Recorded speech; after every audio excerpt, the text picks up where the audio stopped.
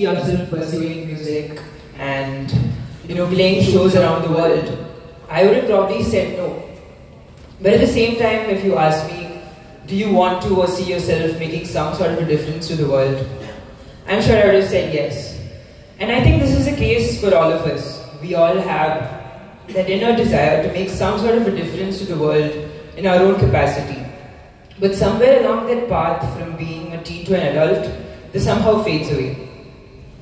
When I was finishing my high school, my parents were clear to me, or they told me that from when I was 18, I had to be financially independent, which meant I had to either take student loans or start earning my own money. And they said they would be there for me in case things went wrong and uh, if I didn't have like a backup option, they would be there for me. But they gave me the freedom to do what I wanted and to learn from my successes and mistakes. And I am immensely grateful for this parents in the audience, this is probably the best thing you can do for your children.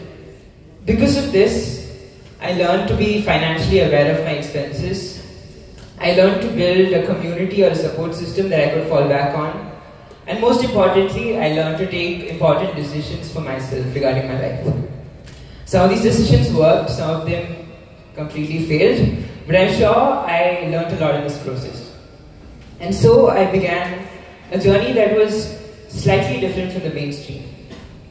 At 16, I joined the Green School in Bali, Indonesia, which is one of the most unique schools in the world, and where I won a scholarship for my senior year.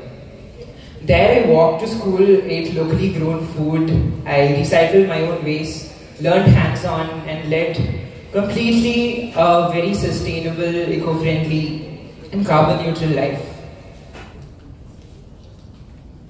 At 18, um, when I graduated from the Green School with a high GPA, is when I realized that a lot of colleges that I wanted to join didn't accept this Green School curriculum. So naturally, I was very disappointed. Um, I was left doubting my decisions. But at the same time, I saw this as an opportunity to try something new. So impulsively, I wrote to the Raghu Dixit project, who I came to know, I was looking for a guitar player. And the next morning, I received an email back inviting me to join the band. And um, I ended up playing over 120 shows with the band at dream venues like the Glastonbury Festival and the Sydney Opera House. At 19, I co-founded my own band, When Met Toast, which has a considerable listening base now across the country and even the world. We tour regularly around the country and we try to make a difference to the lives of people in our own capacity.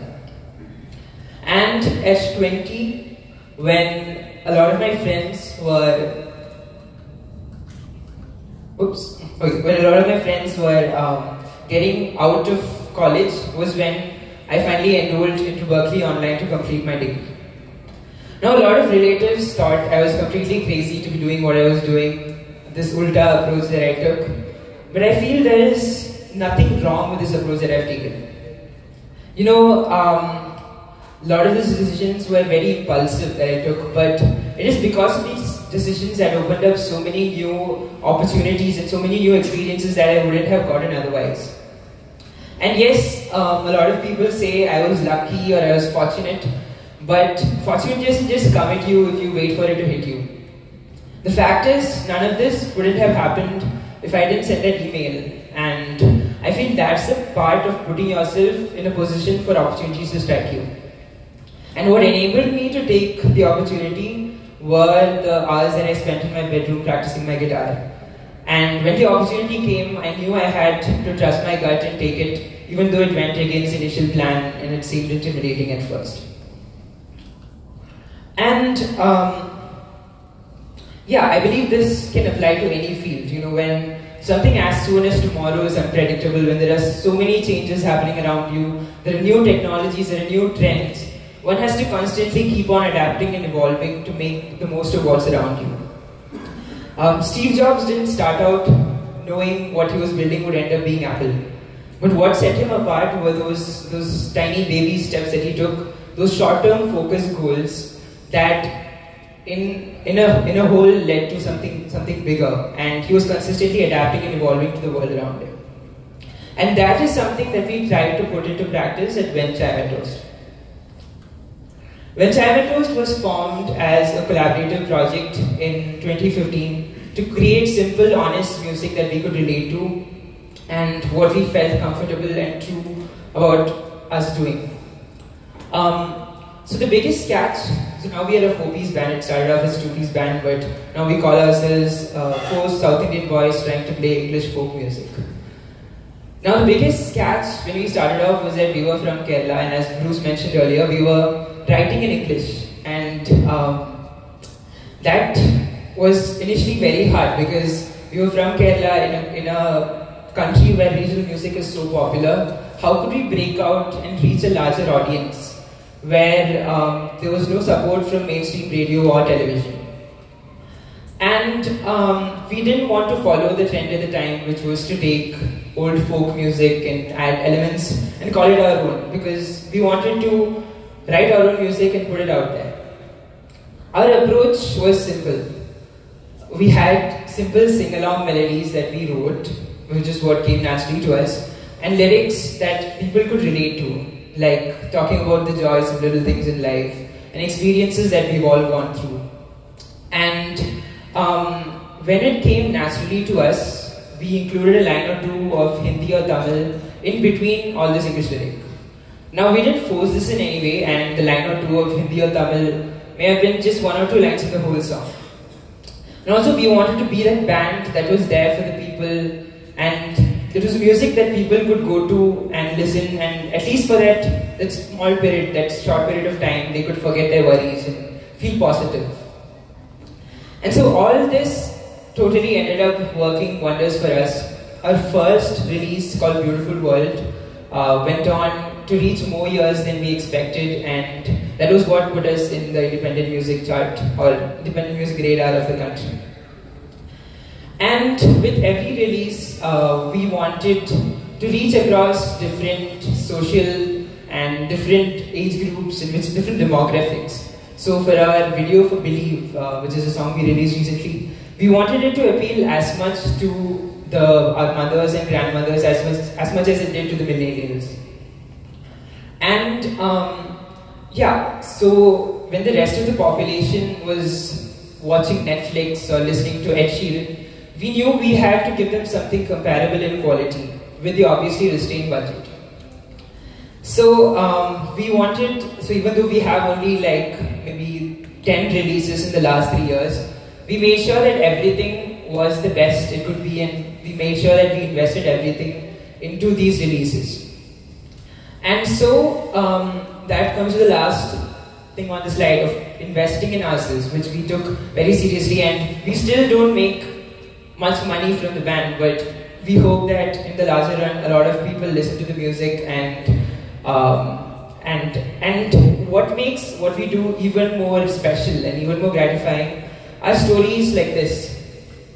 Um, one of our friends, Sanjana, uh, went to teach at a school called the Haji Public School in Kashmir. Now this is a school that is so remote that there are no motorable roads. You have to go on horseback to get there. And to teach English to these students, uh, Sanjana introduced them to a song called Firefly. Now these students took to the song so much that they started singing it for their assemblies and they wrote the lyrics of the song on posters and they put it up all across the school. And uh, these students hadn't seen video screens, they were seeing video screens for the first time. And they sent us back videos of them singing this song. And that was immensely heartwarming and I would love to play a couple of minutes of them singing uh, of, of, this video. And uh, it can really show how much music can help connect across different boundaries and age groups.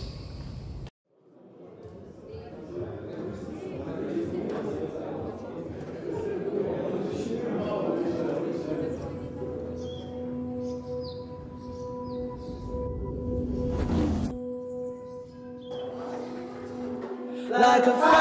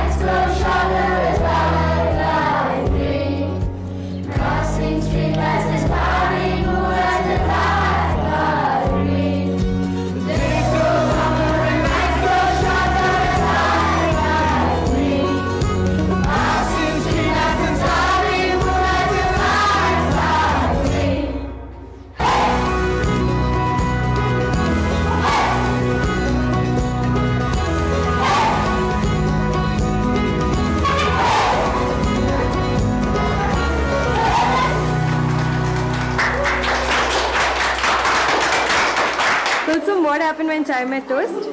When Chai met Toast, they decided to sing. Okay, Kashif, what happened when Chai met Toast? We put toast in chai and then they drank it.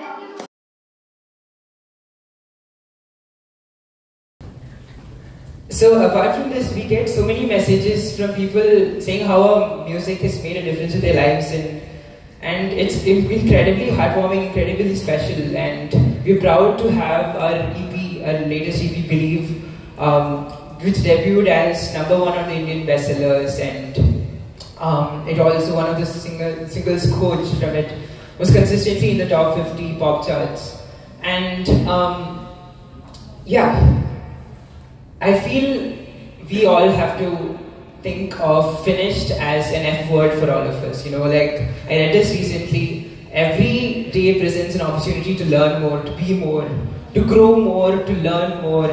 And um, if you think of our lives as a permanent beta, you you you you you seem to realize that there is consistent development to do on yourself. That you're never a finished product, and you have to always consistently keep on adapting and evolving to the world around you. And so, a year from now, I don't know where I'll be or what I'll be doing, but I know I'll be trying to make some sort of a difference to the world. And if someone asks you what your plans in life are, um, if they, if you don't know, if you don't have an answer to them, as long as you're working hard, you're enjoying what you're doing, and you're consistently adapting to what's around you, I'm sure the next big opportunity will be right around the corner. Thank you.